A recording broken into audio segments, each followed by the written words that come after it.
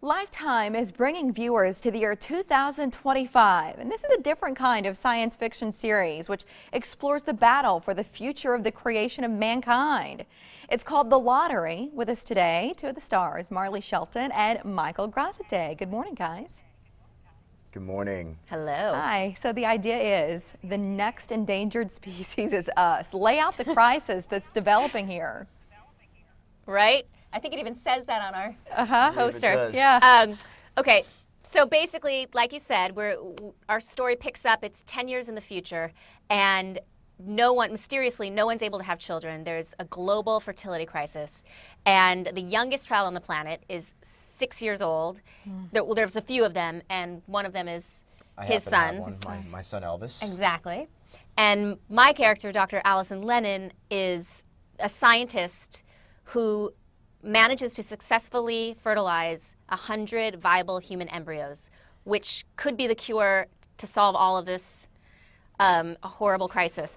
But, uh, but we, so that's where it picks up. But I promptly get kicked off my own project, and the government takes it over Yeah. and um, all sorts of secret plots and agendas ensue Right. from Well, there. I That's saw kind part- of the point where the government steps in and they decide to hold a national lottery to see which women will be the lucky few Mm-hmm. to carry the 100 embryos and maybe have a chance at having a future at humanity. And that's the lottery. But I saw a scene, Marley, where yours looks like you're sneaking in to steal an embryo.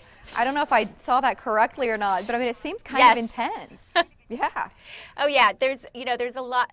The stakes are very high on this Uh-huh. show, and there's a lot of intense moments. But but that that particular intense moment was um, I do I get after I get fired, I go back and try to steal one of the embryos because I believe I've I've now met one of the egg donors, and I've told her that she has this potential child in a test tube, and she wants it back. So I go and try to steal it for her, and then.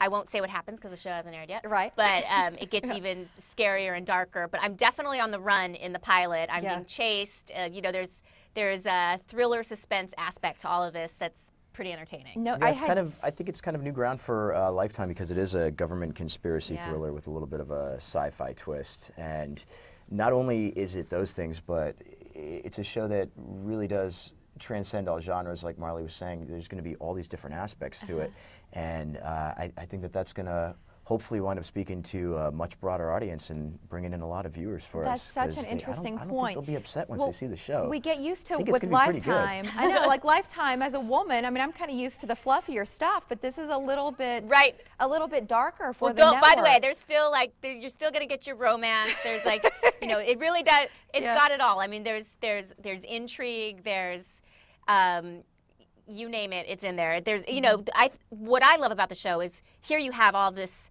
all these really interesting provocative elements like the future. It's set in the future and the political drama, but it's still essentially a human drama, and it's about how human beings relate to mm-hmm. each other mm-hmm. or don't relate to each other.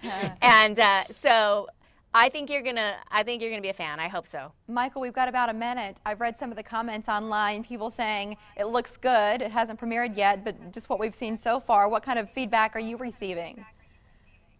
What kind of feedback? Well, I'm uh, locked away in Montreal right now filming, Uh-huh. aside from our uh, interview right now. so I'm not getting too much feedback. I'm getting the feedback that my mom's pulling off the internet because she, I think, is my biggest Right. fan, and she tells me on a daily basis that people people seem to really be looking forward to it. So uh, that's that's nice to hear. Well, the trailer looks great. I'd recommend to our viewers if they get a chance to jump online, search it out, and watch it. And then the lottery premieres Sunday night at 9 on Lifetime. Marley and Michael, thanks for joining us. Thank, Thank you. you. Thanks, Mike.